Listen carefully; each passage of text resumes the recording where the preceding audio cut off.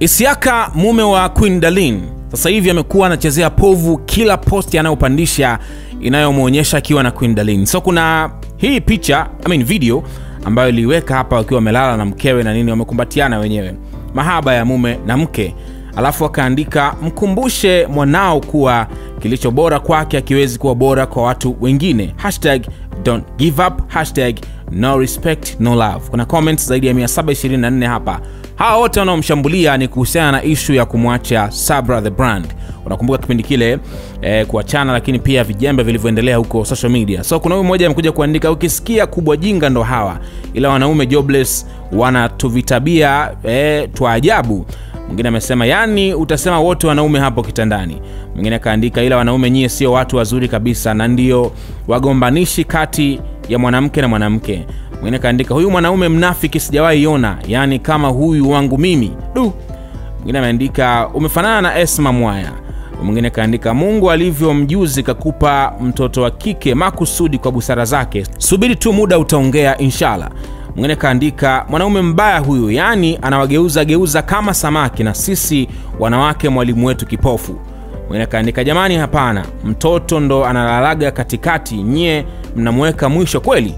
Mwingine kaandika, huu wimbo sawa, anaulizia wimbo ambao ameweka hapo, mwanamke ni chombo cha starehe, wachezeshe e, chezeshe tu, huna baya. Kwa Sabra maokoto yakiongezeka, mpira unarudi kwake. Anyway, huyu jamaa akashambuliwa kwa sababu hii kauli yake kusema mwanamke ni chombo cha starehe haijakaa sawa, au sio?